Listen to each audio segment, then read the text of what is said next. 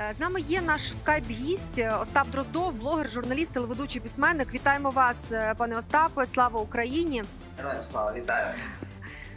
Остапе, давно не бачилися. От якщо говорити про відчуття, які зараз в тебе є станом на цю весну 2023 року, ми багато. Аналізували і думали про те, яким буде цей рік. Зараз багато справді говорять про той контрнаступ, який нібито вже розпочався. Але от люди не знають, як вони мають це відчути і чи маємо ми це відчувати. З іншого боку, якщо нічого не прилітає, і ми не чуємо про там жертви війни, то ми нібито вже й знов перетворили це все от в такі е, умови. Ну для мене по відчуттях це те АТО, яке було до того багато років, і от зараз вже щось подібне. Весна, люди гуляють, зокрема у Львові, в Києві, все, все норм. Ну якщо там НЛО не рахувати, які прилітають час від часу. Які твої відчуття? Що, що ти бачиш? За чим спостерігаєш зараз? Знаєте, я якраз останні місяці саме про це найбільше й думаю. І недаремно ви у своїй преамбулі Віталій згадав дежав'ю і аналогію з 14 роком. Ми, власне, щось схоже е, зараз повторяємо, бо якщо ви себе вернете на 15-й рік, тобто рік війни, то ви, власне, десь і проведете пряму аналогію. Країна далі якось намагалася жити. Багато людей почали відключатися від війни. Звичайно, це дуже некоректні порівняння з теперішнім повномасштабним е, етапом, бо ну зараз вже все е, настільки екзистенційно, що я не знаю, треба бути абсолютно повним якимось ідіотом, щоб цього не розуміти. Але поміж тим я не, я не вживаю слово втома. Я би його радше замінив, але це моя думка. Я лише е, ділюся своїми думками, бо ви запитали якраз мої відчуття. Я би замінив це слово радше на такий ефект певного протверезіння. Бо е, отак емоційна кульмінація, апогейна точка, зенітна, найвища оцього взагалі всього національного піднесення, вона е, вже відбулася. Вона зіграла свою абсолютно таку важливу, безповоротну націєтворчу вже функцію, Е, але вона вже позаду. І зараз, власне, приходить, мені здається, в дуже значних верств суспільства проходить ось, власне, оце раціональне розкладання по поличках, бо це має і зовнішній фронт, і внутрішній. Власне, я думаю, у нас е, оця така принишкла раціональна оцінка, яка вже замішана на критиці, на критичному сприйнятті, на е, зніманні мораторіїв на багато тем, які в час е, річної давності якби були так заморожені, бо не до того було. От, власне, зараз ми наново відкриваємо і ми постаємо в повен зріст перед отим внутрішнім фронтом і викликами внутрішнього фронту, які пов'язані з дуже сумними. Власне, висновками щодо е, дуже багатьох речей. І, власне кажучи, війна для багатьох людей поставила е, все ж таки е, дуже багато запитань стосовно якості, чесності, поведінки влади з одного боку, притомності і адекватності наших співвітчизників з другого боку. І це все вкупі. От все це вкупі вариться от в цьому такому вже, е, я би сказав, прагматичному аналізі, в який увійшло суспільство. І я би цього насправді не боявся, тому що роблення висновків є прерогативою сильних народів і сильних націй. І я би дуже хотів, щоб ми теж е, це не пройшли. Тому це для мене, якби я далі можу то якби розписувати те, що я е, зазначив. Але що так дуже дуже так е, генерально засадничо, то власне я би навіть не втомою це пояснив. Я би радше це пояснив ось е, намаганням все ж таки ставити нарешті питання. Шукати відповіді, робити певні висновки і не замовчувати все те, за що кусалося себе за язик е, там в перші місяці е, війни. От десь це зараз плюс-мінус я так відчуваю. Ми дуже часто і в наших студіях е, з багатьма гостями, десь ну напевно не в перший, а швидше в другий, в третій місяць е, повномасштабного вторгнення е, починали говорити, що Україні треба звикати жити в форматі повномасштабної війни. Наводили завжди аналогію Ізраїлю, який там десятиліттями живе під обстрілами, і, начебто. Ну, от, власне, цей тест на те, аби призвичаїтися до цих умов е, в хорошому розумінні, якщо можна знайти там хороше розуміння, в нормальному розумінні українці з одного боку проходять. А з іншого боку, є, знаєте, е, ви ви ж згадайте, коли перша бомба впала в центрі Харкова, оце відео десь другий, третій день, який був шок. А зараз е, ну, потрапило у Слов'янську в будинок, так? І є статистика про загиблих. Але вам не здається, що дуже часто інформація про загиблих навіть всередині нашої держави для багатьох е, нас е, стає статистикою, просто статистикою. Ну, е, це невідворотньо. Ну тут е, не можна постійно вимагати від людей такої вершинної емпатії, от, на, на рівні пропускати все через свою душу. Це якби всі ми люди, і ну я тут без цього не робив якоїсь великої проблеми. Все одно держава і, і суспільство у війні. А то та частина, яка не у війні, десь там по банях і по буковелях, ну то вона і так би там була. Не- Незважаючи ні на що, тому тут Але тому не вони могли бути в. Буковелі Я розумію. переляканими. Я а зараз розумію. Тобто, та. Я розумію, тут не йде мова про якесь очерствіння, хоча це теж є. Ну, є, є тут моменти. Я б радше казав, це е, я б це пояснив. е, Ось е, все ж таки вже ну, от пошуком холодо, холоднокровного рецепту життя в таких умовах. Я тут мушу сказати про момент, який, можливо, хтось так продумував, але ще не проговорював. Е, З чим це пов'язано? От, власне, ці явища, які ви про які ви запитуєте, ці відкатні явища, вони пов'язані також із тим, що е, люди якби зрозуміли, що в їхнє життя увірвалося фактично якби 20-те сторіччя. Ми жили в 21-му. Кожен з нас, мав безвіз, мав щомісячні, ну там не кожен, е, можливість поїхати будь- будь-куди. Всі в айфонах, всі, всі в нормальному культурному житті, гуманітарному, економічному, ну як нормальному. Всі жили в 21 сторіччі, і ось тут вривається тобі в хату. Оце страшне 20 сторіччя, бо Росія є власне відрижкою і флагманом того 20 сторіччя, де якраз і була оця, оцей, оцей феномен, концепція народних воїн. Народна війна увійшла. Я, е, я мушу е, тут е, пояснити, що я маю на увазі, щоб теж мене правильно е, зрозуміли. От е, я не знаю, чи ви пропустили, чи звернули увагу, десь зовсім недавно було європейське дослідження на предмет серед європейських країн на предмет готовності захищати там свої країни в разі чогось. Ну і от, наприклад, Німеччина показує відсоток, наприклад, 15 там. 13-15. І це середній відсоток готовності якраз по всій Європі. І це не тому, що вони боягузи, а тому, що вони, як вони пояснюють, платники податків.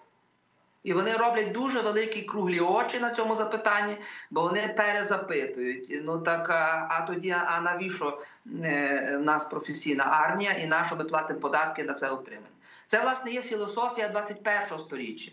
І тому ну, я просто не можу собі уявити, і це дуже важко якраз на це розраховувала е, Москва і Росія. Що в Європі не можуть собі і не могли собі взагалі уявити ситуації, коли весь народ рине на війну. Ну, от уявити собі, що всі поляки, там всі чехи чи всі французи в один день змушені просто лишити все, чим вони займалися до того, і включитися у війну. Вони цього якби не розуміють, тому що в них працює оця натівська концепція 21-го сторіччя про професійну армію, е, про те, що війна в сучасних умовах є війною власне армії, а не народів. Росія це розуміла, і саме тому вона пішла саме народною війною. Вона є оцим відгомоном страшним 20-го сторіччя, коли воювали не армії, не держави, а народи фактично І власне тим вони і, і налякали всіх. Вони сказали: ми вас завалимо м'ясом і залізом. Тому що ваше суспільство до того не готові. Ви живете зовсім в іншому порядку денному, ви навіть не зрозуміти. Ми свої біомаси, свою худобу на убой чмобіків заженемо. Ви то своїх ні. І вони це знають. І, власне, оця, розумієте, ця підміна понять, коли вони свою агресію побудували саме на концепції ще Першої світової війни, навіть не другої. Вона зараз дуже багатьом якби, ну, приходить ось ось на, на ну, постає повен зріст, і люди не по великому рахунку і не знають, що в таких е, випадках робити. Тому що якраз ми і йшли в НАТО і будували себе, розбудовували країною модерною 21 століття, де буде власне е, ну, от, професійна. Е, добровольча контрактна армія, натівські зразки, високоточна зброя, е, де будуть змагатися між собою пульти і оператори безпілотників, а не чиста от, е, е, народна сила. І це є ще одна така макабрична от, історія, на яку не кожен ще може собі дати відповідь, і просто психологічно дати собі з тим раду, що, що ми в 21 столітті центрі Європи на своїй території маємо оту війну народну зразка 20-го сторіччя. І це дуже багатьох, якби ну воно воно поки що не має відповіді, тому що цей психологічний поріг вернутися в часі.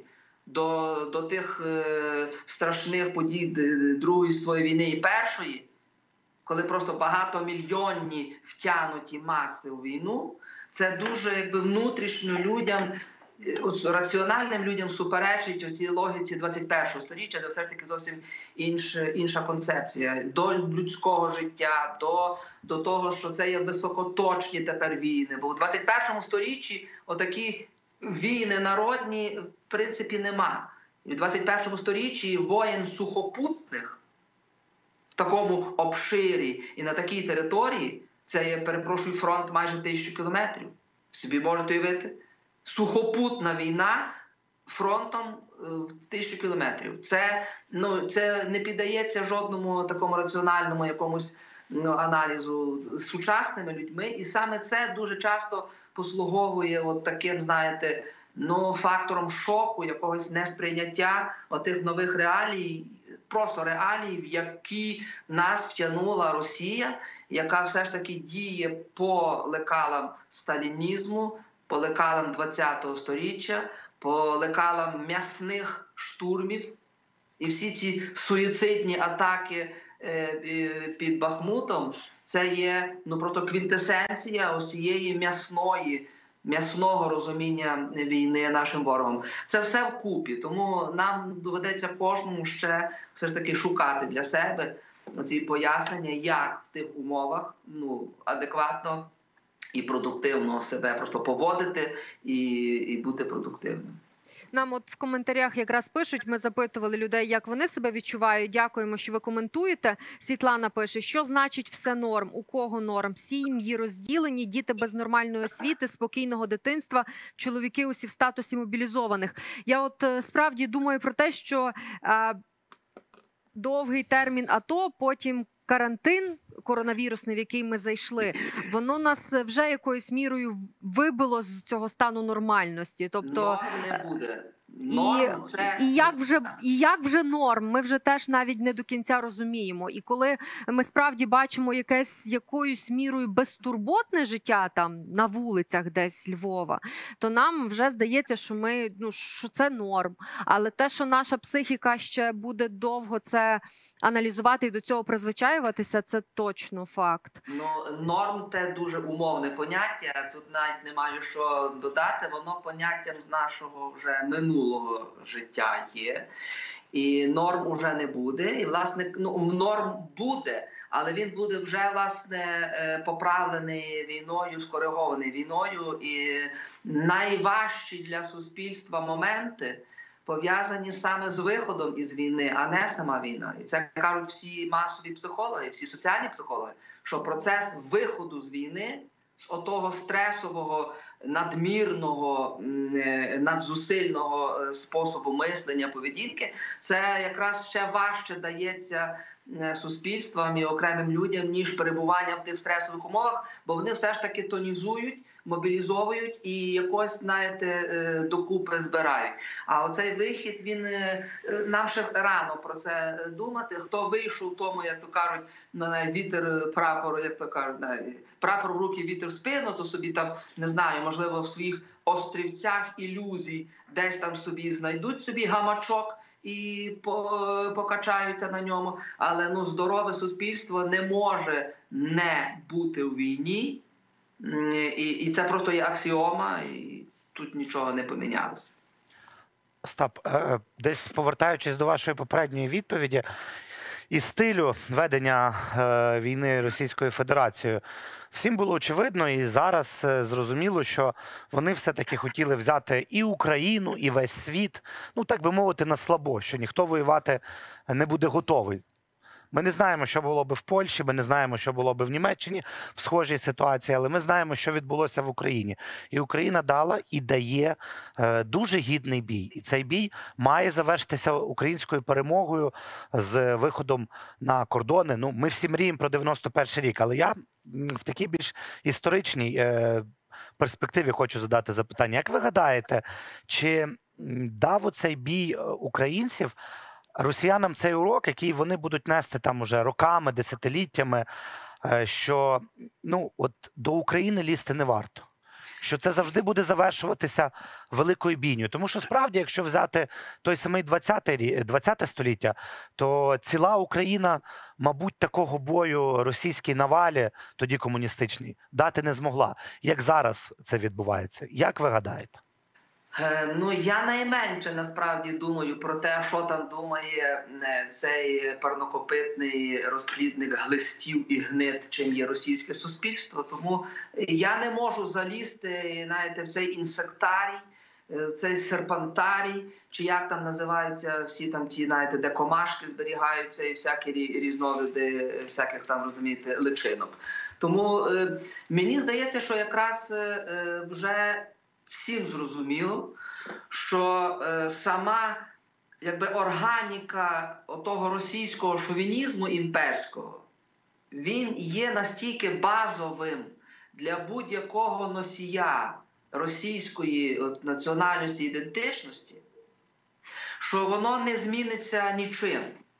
І, е, звичайно, тут е, нам про це мало треба думати. Нам треба захищати, як то кажуть, свій дім і максимально убезпечувати його від подальших там е, нападок і, і так далі. І так далі. І тут є різні інструменти. І зараз не про то мова. Ми просто розуміємо, що допоки в теперішньому вигляді існує навіть не Росія як державний організм, а росіянство чи росіянин як ідентичність, доти Україна буде, якщо не загрожена безпосередньо, то в випадку ось якоїсь певно державної кволості ну, ось тої, тої, тої Росії майбутнього, якщо в них взагалі вона є, то принаймні, якщо не якщо не загрожені, ми будемо, то ми завжди будемо уневажені. І визнати Україну, українців, до речі, як і інші народи, які пішли е, ну, якби, шляхом незалежності, що для них просто ну, в голову не вкладається. Бо ну як раб може зрозуміти е, свободолюбивого когось? Ну як? Він хіба може тримати за ноги і не випускати з клітки, що він і робить?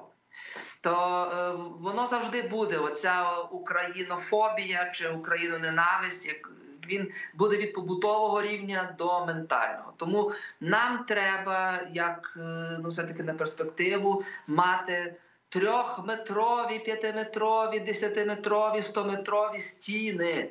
Я не в буквальному сенсі, а як в такому переносному. Просто стіни, відгородки від е, оцього гетто, всього найгіршого, чим є оцей е, відстійник, е, людські шлаки, і оце все, що, що зараз зосереджено на північно-східних болотах. Тому ми це мусимо вибудовувати. Це є питання гуманітарне більше. Це питання спротиву всьому контенту. Це, це, це все вкупі, і про це вже сто раз говорено. Тому ми на це приречені. Без цього ми, в принципі, на будь-яку якби формулу спокійного, мирного співіснування з тими недоорками, в принципі, то марно шукати. Ми можемо лише бути міцно захищеними від них. І наша перемога, мені здається, буде полягати якраз в максимальній віддаленості від них насамперед ментально, ментально, інформаційно, ідеологічно. Можна бути з ними сусідами, тому що Росія сусідствує з дуже багатьма народами. Але ті народи, які ментально відриваються і відірвалися від росіянства, е, ну просто стрибкоподібно, ті є найбільш забезпечені. І це підказка нам. Як би ми не були приречені на сусідство з цим одвічним ворогом, чи він буде слабким, чи він буде переможеним, це вже інше питання. Ми все одно мусимо йому протиставитися, а отже, максимально віддалятися мовно, інформаційно, культурно, е, ну, в усіх аспектах, яких тільки можливо. Тому це є от фактично національна ідея на наступні наші покоління. І тут від цього абсолютно не, не втекти, і та й не потрібно втікати. Це якраз дуже почесно перемагати Росія, от Росію і російське щодня. Кожна людина має можливість унікальну бути переможцем над російським щодня. Від якоїсь маленької музики, Ютуба, якогось сраного театра їхнього, який нікому там не потрібен, тільки їм самим, до стратегічних великих речей, бо великі перемоги будуються з маленьких цеглинок. І тими цеглинками перемоги над Росією будуть малесенькі переможечки. Я так пестливо і лагідно кажу. Оці малесенькі переможечки над усім російським. Воно буде вимуровувати цю велику глобальну перемогу, яка кується не лише на полі бою, не лише в мілітарний спосіб і збройний, дуже кровопролитний, але оцей ціннісний, можливо, він навіть і навпаки є найбільш наглядним. От я так це сприймаю і думаю, що так тільки й можна сприймати. Остап, якщо можна, останнє запитання, але важливе. Ми, в принципі, про це говоримо напевно роками і в наших ефірах, і в багатьох українських студіях, яким е, буде світ, яким міг би бути світ без Путіна. Хоча цікаво і побачити цей світ без Путіна вже безпосередньо. Сьогодні в Google трендах злетіла ця тематика, ну схожа тематика.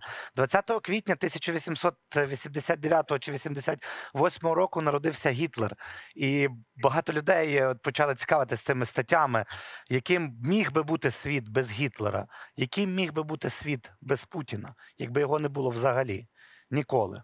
Чи все ж про це не варто думати і говорити? Ну, е, бачите, звичайно, е, моя е, бурхлива уява зразу малює, знаєте, райдужні такі іделічні картинки, але так не є. І насправді тут навіть і не в Путіні справа. Я ж власне це і намагався сказати, що не буде Путіна, а буде інший виплодок отого, отих, отих випарів, тих болотних надр, того дна. Тої муті каламуті, тої, то, то- того жужеля, отого, тої жижі московської, яка 300 років, 300 років варилася під найнижчий стандарт людини. Розумієте? В них найнижчий стандарт ставлення до себе, ставлення до світу, ставлення до сусіда, ставлення до навколишнього, та ставлення вре- врешті до своєї влади і так далі. Тому е, тут навіть не в Путіні справа, якщо уявити собі таку картину, де нічого російського тобі не загрожує, то ви знаєте, я, я напевно би зразу просто вмер би від- радості і від щастя. Це щось буде, напевно, щось таке неземне. Що знаєте, моє навіть серце таке дуже цинічне і холоднокровне, яке деколи буває, воно навіть би того певно не, не витримало. Ну на, насправді цей світ без російського можна і треба створювати.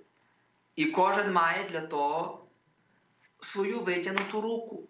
От на рівні витягнутої руки будьте ласкаві, очистіть метр навколо себе по периметру від всього, що асоціюється з Росією, з путінізмом, з тим, е, з тим страшним, токсичним, е, отруйним з- що звідти йде.